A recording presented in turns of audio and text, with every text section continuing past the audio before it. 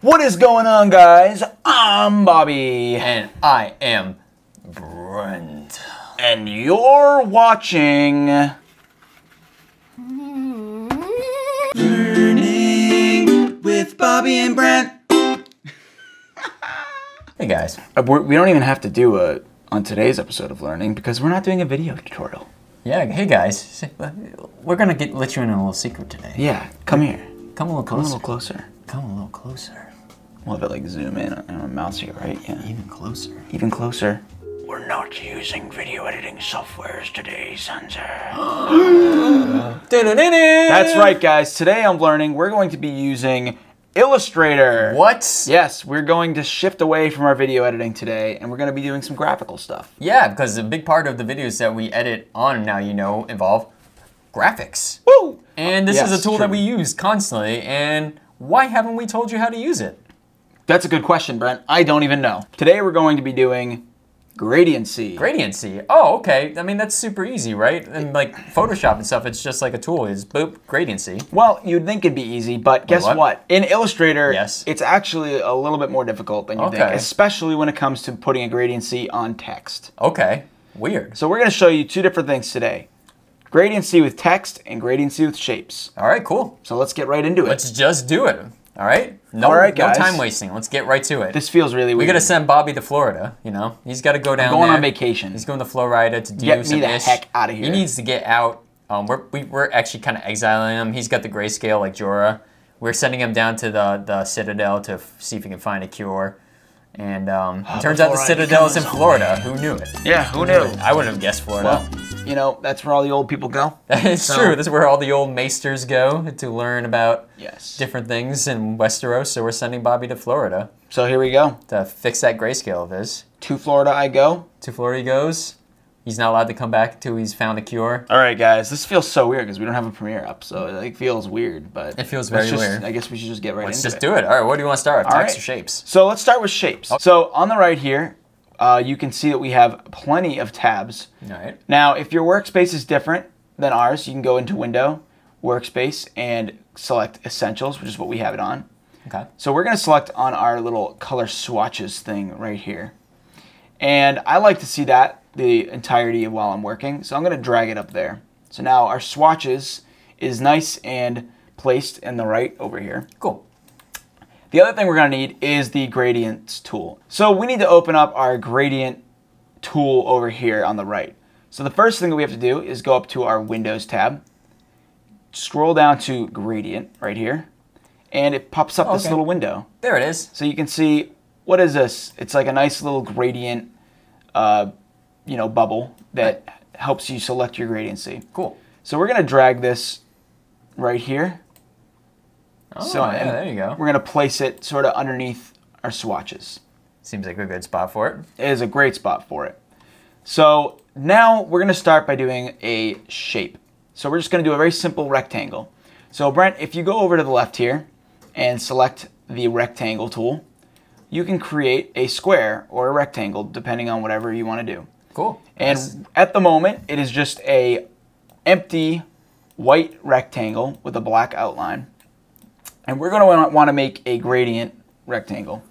cool. So we're going to remove our black outline by clicking over here to our stroke and hitting none. And now we just have the square. To create a gradient, the first thing that we can do is go down to our gradient tool here Okay. and just select the gradient. Oh yeah, there you go. It's already got a gradient on there. Now, the problem is when you go to change the color, look at that.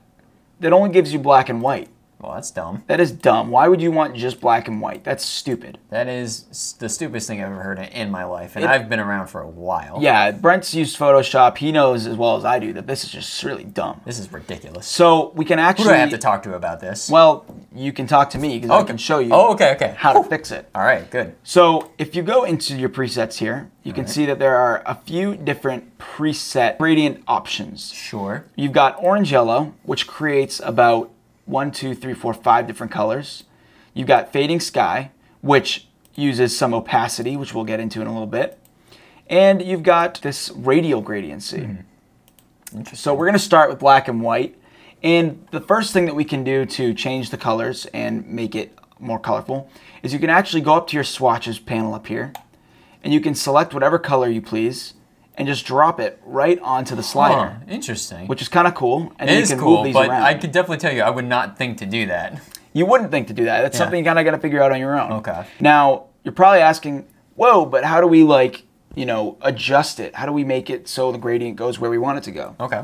So there's this thing called the gradient tool, and the shortcut for it is G. So if we select G on our keyboard, you can see this little thingy comes Okay, up Okay, we here. got a little like a line or something going on there. Yeah, like what is going on? So this thing is basically a quick, easy control panel for you to easily control the gradient. Oh, okay, yeah, the we got some sliders in there that could pop up. So you basically have these sliders. You can move them around. You can select, you know, different options of how quickly you want it to uh, move from one color to the other. And the coolest part about this function is that you can click and drag to Oh, you can change the direction. change the direction of That your is gradiency. cool. Now I'm going to show you how to do a radial type. So if you go into the gradient tool again over here on the right, there are two different options for your type. Okay, I see that. There's linear and there's radial. If you select radial, Brent, Mm-hmm. it creates this circular shape. Circular shape. Now, I don't like how dramatic this is. It's being very dramatic. It's too dramatic. I want it to be a little bit more of a fade. I, I don't want You know, as much I'm deep colors I'm on the sick edge. of the drama, Bobby. Me too. I'm, sick, sick- of this You know what I? You know what I don't like, Bobby? Drama. Drama. I knew it. I hate drama. and you know what, Brent? I don't need it in my life. I agree. Let's get rid of this drama. Drama gone. Here we go. You're going to select the G key on the keyboard again, and it's going to bring up a sort of new looking tool here. It's a little bit different. You've got these circles here, and you get the ability to rotate the circle. And this is going to control basically how the radial is being affected. This little black one up here allows you to shrink and change the uh, shape, sort of making it an oval, if you please. Okay. And this slider here will allow you to pull out the colors Okay. so that you get more of a That's subtle, way less dramatic. less dramatic. It's much better for what we're looking to do. Yeah, that's an easygoing transition. Yeah, so There's no drama there. I think it's pretty simple, uh, straightforward. What's cool about the gradient tool on uh, Illustrator, we don't want to have to redo the whole color swatch thing every time. Sure. So what we can do is you can actually go into the presets and save your own preset. Oh, that's actually really really cool. Yeah, so you got new gradient swatch one. And um, so if we ever need to recreate this, Easy as you pie. can do it easy as pie. Nice. So now say you want the middle of the gradient to be transparent. Sure. All you have to do is go down into our swatch sliders here, select on the slider that you want to be opaque, and go down to your opacity, and just drag it down to zero. Oh, okay. And as you can see, that's now see-through. Simple enough. Wow. Pretty simple. But now here's the tricky part. Oh. Let's get into text. So by creating text, we're going to select the T and create some text. We'll say Brent. That will be the text for Tis this. I, Brent. Tis Brent. We are going to select a maybe a little bit more bold of a font. We'll select Impact. I like, That's a good font. I dig that font. I like it. Now, let's fill the color. Let's make it yellow. Yellow.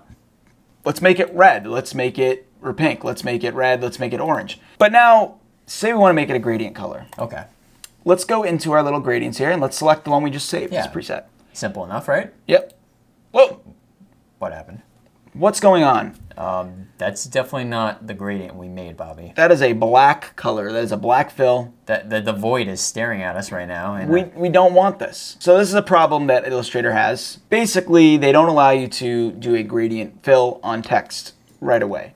So we're going to show you how to do this. okay, we're gonna go through some hoops here. Go through some hoops. It's not too hard though. Shoot some hoops later. I'm going to be the After we one. go through the hoops. I'm going to show you how to do this. It's to be pretty fun. Before you know it, you'll be shooting some hoops because you've already de- dealt with those, going through those hoops. Swish. if you look at the text here, we now have our gradient selected, Mm-hmm. but nothing's happening. So So frustrating. we're going to go up to our object tab up here. Okay. And before you do this, Brent, you want to make sure that the text is finalized. You want to make sure that you've typed in what you want to type in. Okay. Because what we're going to do here is we're going to expand the text. Okay. And that's going to convert it from text to curves. So it's Oh. going to change it so that now you can't edit the text anymore. Okay. So it stops being text and it becomes curves. Yes, basically we're turning it into a shape. Interesting. So right. if we go to our object and scroll down to expand and select that, it's going to bring up this little panel with a few different options. You can expand it and select object, fill, or stroke. We're going to select object and fill for this case. okay. We're going to hit OK. And as you can see, what it has now done is it has created these little nodes here. So if we select our A key, you can see that we can actually edit Oh, these nodes interesting. and change the shape of the text. And we can actually also double click, go into our text. Move them around. and oh, move 'em okay. around. That's kind of cool. So now basically it's a bunch of different shapes grouped together. Some shapes. Let's see if this works now. We'll go into our gradient. We will select our new gradient swatch. Ah, And there you go. I see now. And if we select our G key, we can then Adjust, adjust as we normally would. as we normally would. Okay, cool. That actually was not as bad as I thought it was going to be. It's not as bad as you think. Mm-hmm. It you know takes a little bit extra work, and now obviously it's tough because you can't edit that text, so you'd have to remake the text. Hence why you said we need to make sure you know that it's the final version of that text before you do it. exactly. Makes sense. Okay. That's it, guys. Okay, That's cool. that's how you do a gradient effect. Thank you for watching this episode of VLearning. Yeah, that was really helpful. I think you're gonna be able to make some cooler looking graphics now because gradiency is really good for giving things dimension. Yes. A lot of times graphics when they're just solid colors are very flat, very Yeah. kind of boring. which can be cool in its own right, Well, but in some circumstances, yeah, but sometimes you want to give things a little bit of dimension, a little something extra Yeah. to kind of really make them pop out at you. And I think the gradiency tool is great for that. It's great for it. And, then you can move these graphics into your videos, and you know you can put them in After Effects and animate them, or you know once you've animated them, you can drop it into your Premiere project, which is the rest of your video. Oh my god, there's Yeah. too much. There's so much to I don't do. know if you guys remember our um, Zac and Jesse ruins everything video, I but we actually video. used Illustrator to create most of the graphics that were in that. So we created the That's true. graphics in Illustrator, then brought them into uh, After Effects to animate them, And made them then move. brought yeah, and then brought those into Premiere to edit them. So so it's a like nice little train system you yeah, going on. there. exactly. It's a little assembly line. So that's why Illustrator is a really great tool because you can make some really cool looking animations and stuff by creating your own graphics. you Yeah. know? Thanks for checking out this ep. like, sub, Comment. smash. Smash that like button. Uh, leave comments below if you want to see any other stuff. We've been getting some people who have been asking about how like we made like the Tesla Time News intro and stuff Oh, like that. Oh, we should so, do that one, So yeah. maybe we'll kind of one day we'll kind of just make an episode where we just break down each step. It actually is a lot easier than you might think. Hmm. Yeah, true. So- and some uh, people have been asking about the in-depth intro as well, so maybe we could recreate that. Yeah, definitely, and that utilizes a lot of this stuff. So that was a success, successful blah, blah, blah, blah, learning. Here we go to Florida. Goodbye. VLearning with Bobby and Brent. That was a waste of paper towels. It's they're still It's fine. they're still good. They're still good. Woo! And now we just have the square. I gotta go. Brent, you ruined my day. Sorry. I quit. I'm, I'm done with this. I quit. You're just looking for an excuse to get out of here. I am actually looking for an excuse to get out of here. To Florida I go. Anyway, so